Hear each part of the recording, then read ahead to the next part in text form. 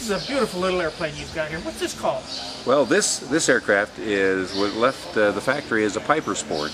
Uh, prior to the Piper Sport uh, being introduced, it was uh, known as a sport cruiser, and it is again known as a sport cruiser. This particular uh, aircraft happens to be uh, a Piper Sport, which was marketed by Piper for Czech Sport Aircraft, the manufacturer, for about a year. And it worked out well, except the two companies had some uh, different philosophies in marketing. And so about after a year, they uh, decided to dissolve their relationship. And the airplanes then became known again as sport cruisers. Uh, but this particular one is a Piper Sport. They're very, very similar. And sport cruisers are still being uh, manufactured in the Czech Republic, as were all the sport cruisers and Piper Sports. Now, how did you become involved with the aircraft then? Uh, I received a phone call from Piper Aircraft Corporation about two years ago, and said we. Uh, they said, Eric, we're going to be marketing a new aircraft, a, new light sport aircraft. Are you interested in taking on that for the Rocky Mountain region?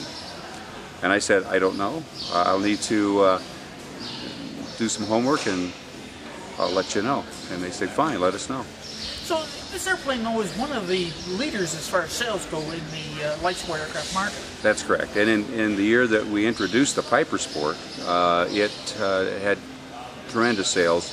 And even though we got a late start in 2010, uh, we, we still outsold uh, the rest of the light sport uh, aircraft in the, in the United States. So it's been well accepted into uh, the area as far as uh, light sport aircraft go? It, it, has. In the Rocky Mountain region, uh, light sport is catching on, but over the years, uh, people have the misimpression that uh, light sport aircraft would not perform well at our higher density altitudes.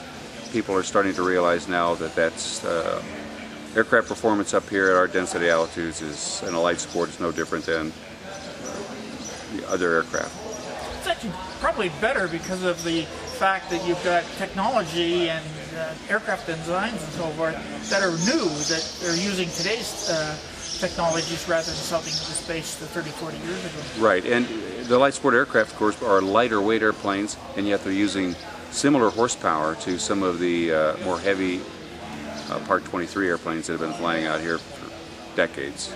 So we have we have a better power to weight ratio. Are you powering this airplane with? This is a Rotax 912 ULS, uh, 100 horsepower, four-stroke, four-cylinder, horizontally opposed uh, engine. It's a very popular uh, power plant for probably 90% of the of the light sport fleet. It's a very desirable engine, and that's why it's so popular have you got service facilities and so on and so forth to look after Rotax? Most of the people who would be, you know, like Lycomings and Continentals would know that. But right. Rotax being, I guess, sort of a different engine, uh, are you offering a service that's going to require? Yes, we are. We, are we're, we're very experienced in Lycoming and Continentals also, but we are a uh, an authorized and trained Rotax repair center. So uh, our customers can come to us for all the Rotax uh, service and maintenance needs. Now, what else do you offer to the public as far as the light sport aircraft industry goes? Well, we are we are in sales and service, so we're here to uh, promote the aircraft, uh, deliver the airplane uh, to the customer, and then uh, take care of his warranty and service needs as necessary after the fact. We, we, we are uh, not in the flight training business, uh, so we're sales and service. Now, are you a, a, distributor for the aircraft, or just a sales agent for them? Or? No, we are. A, we are. When when Piper was involved, we were known as distributors, uh, even though we're really dealers. And so now we refer to ourselves as dealers. So uh, the dealers have geographical areas that were positioned geographically favorable to the customer's uh, needs. Now, my understanding is that they have a very unique, or the Czech people have a very unique way of selling their airplane. They have some sort of a uh, thing called the Sport Share program? Yes, it's uh, something new and quite innovative. Um, it's, it's a means to uh, allow pilots to be uh, involved in a fractional ownership of a new sport cruiser. And it's done uh, in an unusual way in that uh, the manufacturer is actually involved in the partnership for a uh, certain length of time. and it's meant for up to five partners. Uh, and up until the fifth partner comes along, the factory is one of the partners. So it's kind of an interesting uh, new concept. And the advantage, I guess, of that is that if you wanted to sell your share later on, really you haven't rented or anything else. You've Right. got something here that is worth selling. Right, and with, with five owners, your share it would be more easily sold too, because it would be uh, more attractive to the buyer. Now, the Sport Cruiser, what type of construction do you use there? Well, Sport Cruiser's uh, an all-metal aircraft. It's conventional construction with uh, aluminum, uh, and it's uh, easily repaired in the field if necessary, if something were to be damaged. Now, this looks like it'd be a great little cross-country airplane. Got a lot of storage area behind the seat there. It is. It's uh, it's a very flexible airplane. Uh, we have uh, three baggage compartments, two large fuel tanks in the wings, and a, and a very spacious, comfortable cabin.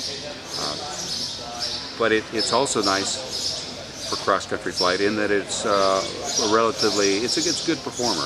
Uh, it burns very little fuel in cruise flight, and as we know, the, the light sport maximum cruise speed is 120 knots. This aircraft will will fly at 120 knots under the right conditions. Normally, I normally fly at about 113, 114 knots.